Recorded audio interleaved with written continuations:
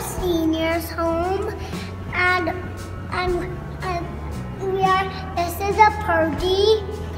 There was we are gonna St. Patrick's Day party.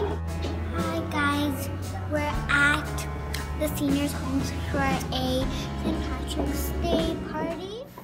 So kids and I went to a seniors home near our house where they played uh, passing the parcel but with the green potatoes and every time the music stopped whoever had a green potato got a sticker or a tattoo with St. Patrick's Day theme. So basically all the kids of the neighborhood who were there um, at the party had something. They won something. They had tattoo or a sticker. Kids were happy they got to put on some tattoos. My daughter is making a leprechaun face here and she got a pot of gold tattoo on. And then kids colored some st patrick's day art sheets with crayons and pencil colors. So all in all it was a great success.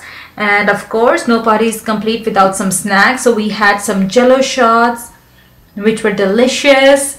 So kids had fun eating them. So nice, fun-filled way to spend an afternoon doing some St. Patrick's Day themed activities and celebrating.